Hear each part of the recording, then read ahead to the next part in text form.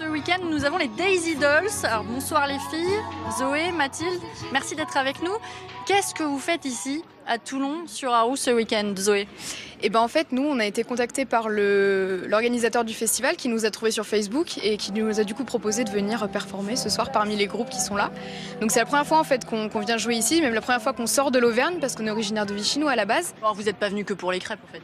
Non, Les crêpes, c'est quand même important. Oui. Une grosse C'est quand même une grande part de notre alimentation. Donc, on est Avant très tout. heureuse qu'il y ait des crêpes ce soir. Ben, on vous souhaite.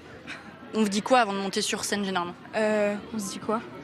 On nous dit merde, mais on n'a pas du tout le droit de dire merci. Donc si vous nous le dites, on va juste euh, ne rien dire. Eh ben alors euh, je vous fais un signe de tête et on est tout cœur avec vous.